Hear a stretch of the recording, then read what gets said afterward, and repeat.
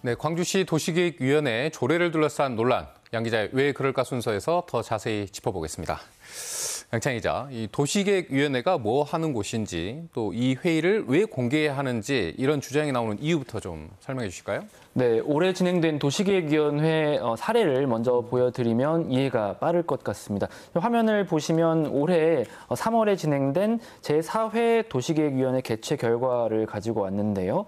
보시면 3월 30일에 진행이 됐고 어, 신세계 백화점 확장 이전 계획이 있는데 네. 이 내용을 어, 자문하는 그런 회의였습니다. 결과는 조건부 동의 어, 결과가 나왔고요. 이런 식으로 대규모 개발 사업에 어, 도시계획 관련된 내용들, 뭐 아파트가 될 수도 있고 네. 이런 어, 대규모 개발 사업이 될 수도 있고요. 이런 음. 것들을 심의하고 자문하는 그런 기능을 하고 있는데 현재 비공개로 회의가 음. 비공개로 운영이 되고 있고 어, 보여드린 것처럼 개최 결과만 간략하게 공개가 됩니다. 또 회의록은 정보 공개 청구를 해야 볼 수 있거든요. 이런 음. 것들이 문제가 있다. 밀실 운영이다 이런 어, 비판이 제기되고 또 외국에서는 또 공개하는 사례도 있다 보니 음. 어, 이걸 한번 공개해보자 이런 주장이 나온 겁니다. 음. 그런데 어쨌든 광주시가 시의회까지 통과한 조례를 다시 뒤늦게서야 논의 다시 논의해야 한다 이런 입장을 내놓고 했는데 결국 좀 헷갈린 것 같습니다. 광주시 입장이 도시계획위원회 회의를 공개하자는 건지 아니면 비공개로 하자는 건지 좀 헷갈리는데 어떤 건가요? 네, 좀 설명이 필요한 부분인 것 같습니다. 제가 이제 임의로 어, 공개를 아주 완전하게 공개를 하자는 입장이 있을 수 있고 어, 아예 공개하지 말자는 네. 입장에 있을 수 있으니 수직선을 한번 그려봤습니다. 음. 어떤 어, 입장에 서 있는지 당초 광주시는 어, 공개에 소극적이었고 첫 검토, 앞선 음. 리포트에서 또 나오지만 첫 공, 검토에서는 이 비공개가 타당하다. 어, 이런 어, 주장을 했고요. 비공개를 원칙으로 하는 음. 어, 조례를 내기도 했습니다. 하지만 공론화가 계속되면서 이 공개 원칙에 동의한다는 쪽으로 입장이 선회하고 음. 있었고요. 어, 그러니까 이 방향으로 논의가 흘러간 거죠. 네. 하지만 어, 광주시가 어, 끝까지 이제 어, 부정적이었던 건 강행 규정, 그러니까 공개해야 한다. 는 부분에는 부정적이었습니다. 네. 이 시의회가 이 부분을 강하게 주장을 했고 광주시는 반면 공개할 수 있다는 정도로 주장을 했거든요. 그래서 정도로 따지자면 어떤 소극적인 공개 어, 이런 입장이었는데 결국 이제 어, 강행 규정은 동의하되 비공개할 수 있는 조건을 늘리는 방향으로 그러니까 이 정도의 위치에서 어, 상임위 합의가 났고 이 조례안이 통과가 된 상황입니다. 그런데 헷갈리는 지점은 어제 광주시 보도자료가 나오, 나오고 나서부터이거든요. 그러니까 공개를 하는 게 마땅한데 어, 지금 현재의 조례는 단서 조항 때문에 제대로 공개를 할 수 없다, 실효성이 없다 이런 주장을 들고 나왔습니다.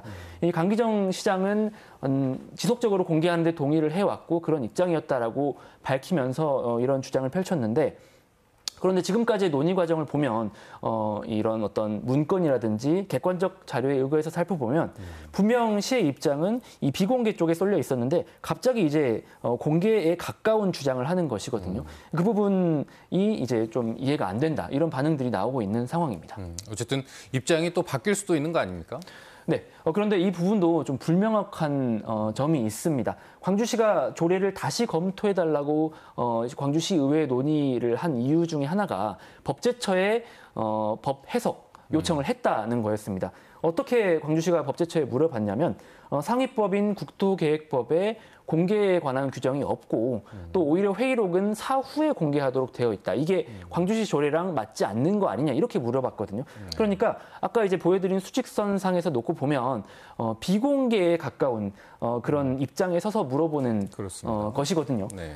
이런 점들 때문에 어, 시민단체는 재검토하는 광주시의 요구가 사실 어, 명목상의 이유처럼 공개를 위한 것이 아니라 오히려 이 조례를 무력화하려는 거 아니냐 음. 이런 의심까지 하고 있는데 광주시는 그건 아니라고 음. 선을 긋고 있는 상황입니다. 음. 어쨌든 앞선 리포트에서처럼 상임위에서 의결된 조례에 대해서 뒤늦게 이 수정 요구를 한다는 게 절차적으로는 좀 부적절한 것 아니냐 이런 지적도 나오고 있습니다. 어쨌든 네. 상임위 또 본회의의 관계 이런 것들도 좀 시청자분들이 생소할 수 있을 것 같은데 이 부분도 좀 설명을 부탁드 릴까요? 네, 어, 조례를 어떻게 만드는지 입법 절차를 한번 어, 들여다봐야 될 것 같습니다. 뭐 교과서에 나오는 내용인데 다시 한번 네. 살펴보자면 어, 국회에서 법이 만들어지듯이 지방자치단체에서도 조례를 만들 때 여러 절차들이 있습니다. 어, 안건을 먼저 발의를 하고요. 뭐 시가 발의할 수도 있고 또 의원이 발의할 수도 네. 있고요. 그 다음에 이제 상임위원회 심사, 어, 그리고 본회의 심의를 거쳐서 이제 법이 효력이 발생하게 조례가 효력이 발생하게 되는 건데 어, 중요한 건 상임위원회 심사가 사실 여기서 실무적인 내용이 음. 대부분 이루어집니다. 여기서 법안 취지를 설명하고요. 또 어, 전문위원회 검토 보고가 이루어지고요.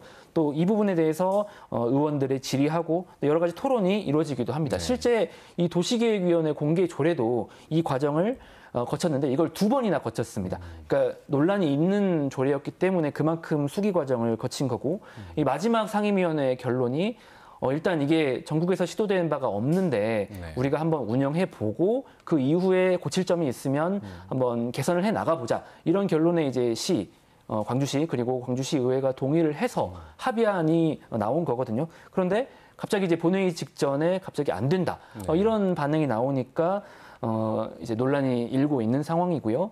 어, 그러면 상임위원회에서 왜 이제 그런 얘기를 제대로 하지 않았느냐라는 질문에 대한 해명도 좀 궁색한 면이 있습니다. 이 광주시 담당 국장은 시 의원들과의 관계 때문에 그걸 이제 제대로 얘기하지 못했다라는 어, 얘기를 했거든요. 하지만 이 조례를 제대로 만드는데 그게 필요한 지적이었다면 어, 시의원들하고의 관계보다는 그 부분이 더 중요한 게 아닌가 싶기 때문에 어, 이런 논란이 좀 벌어지는 것으로 보입니다. 음, 어쨌든 전국 최초라는 또 이름이 붙으면서 많은 관심을 받고 있는 조례인데 이 부분에 대한 또 추가 취재 잘 부탁드리면서 오늘 말씀 여기까지 듣겠습니다. 양 기자 고맙습니다. 고맙습니다.